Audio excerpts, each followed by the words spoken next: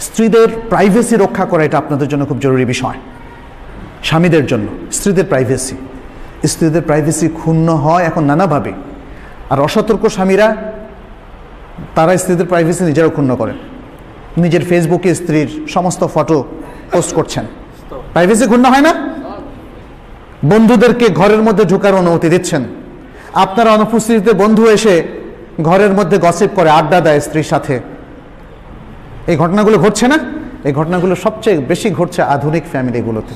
তথাকথিত আধুনিক ফ্যামিলিগুলো। তারা ফ্র্যাঙ্ক। তারা বলে উই আর ফ্র্যাঙ্ক.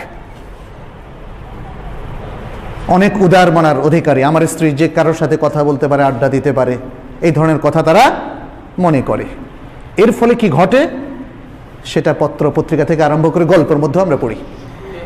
দেখুন, অনেক গল্পের মধ্যে বন্ধুরা, বন্ধুর স্ত্রীর প্রতি কি অসদাচরণ করেছে এমনকি সুযোগ পেয়ে আরও কি কর্মকাণ্ড করেছে এগুলো নিয়ে আজকে আমাদের নাটক, সাহিত্য, গল্প, উপন্যাসও লেখা হয়। এগুলো নিয়ে নাটকও করা হয়। ওল আয়াদুবিল্লাহ ওল আয়াদুবিল্লাহ কিন্তু শরীয়তের বিধান হচ্ছে স্ত্রীর প্রাইভেসি রক্ষা করতে হবে স্বামীকে, এটা ফরজ। তাদের কোনো গোপন ফটো তো এমনি তোলা যাবে না।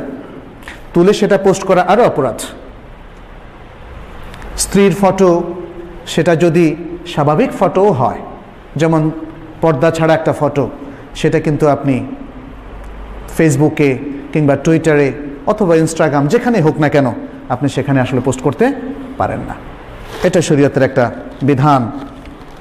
কারণ রাসুল সাল্লাহ সাল্লাম একটা হাদিস আছে, ইন্না শার রান্নাস আন্দাল্লাহ মনজিলাতান ইয়াউমাল কিয়ামাহ আর রাজুলু ইউফদি ইলাল বারআহ ওয়া তুফদি ইলাইহি থুম্মা ইয়ানশুরু সিররাহা। যে কিয়ামতের দিন পজিশনের দিক থেকে আল্লাহর কাছে সবচেয়ে নিকৃষ্ট ব্যক্তি হবে ওই ব্যক্তি যে তার স্ত্রীর সাথে মিলিত হয় আর দিনের বেলা সে সেটাকে প্রকাশ করে। এটা হচ্ছে একটা উদাহরণ।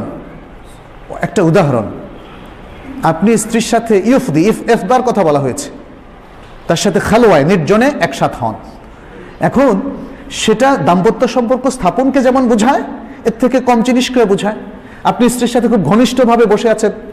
ছবি তুললেন, পোস্ট করলেন, তাহলেও এই হাদিসের মধ্যে আপনি পড়ে যাবেন। এখানে এফদা ইলালবার আহ স্ত্রীর সাথে সব ধরনের নির্জনে মেলামেশা এবং ঘনিষ্ঠভাবে বসা সব কিছুকেই অন্তর্ভুক্ত করে। অতএব এই জিনিসগুলোকে পরবর্তীতে যে ব্যক্তি পাবলিকলি ওপেন করে পাবলিকের কাছে, সাধারণ মানুষের কাছে প্রকাশ করে কেমতের দিন তার সবচেয়ে ভয়াবহ অবস্থান হবে আল্লাহর কাছে। এখানে সেটি তুলে ধরা হয়েছে।